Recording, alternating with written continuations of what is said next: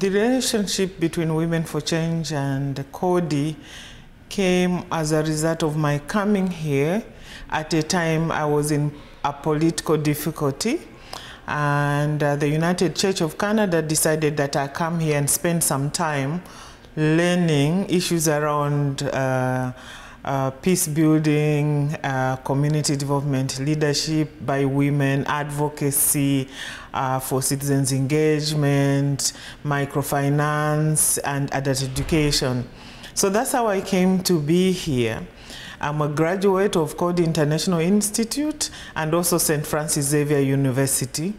And since then, I've been coming to assist um, the facilitators at Coady uh, in teaching some of the courses um, that uh, the institution felt I was competent in, also as a way of giving back what they gave me when I was in a time of need.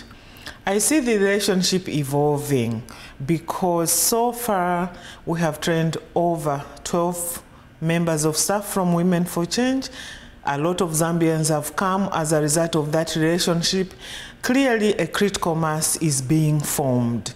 And it is important that we continue on that path uh, to spread the critical mass, but also um, working on building a regional training center uh, that Coady will have a very important role to play in and that would help us deal with the issue of visas that keep a lot of our people um, away from Coady International Institute.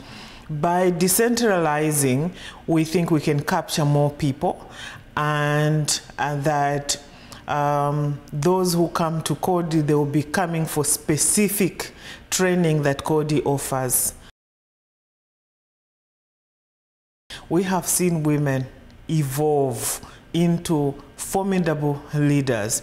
They come here not knowing that they are leaders. The course helps them explore through a process called the River of Life, where they are coming from, uh, from a very early age and where they are, and pulling out the milestones of their leadership in their stories and showing them you've been leaders after all.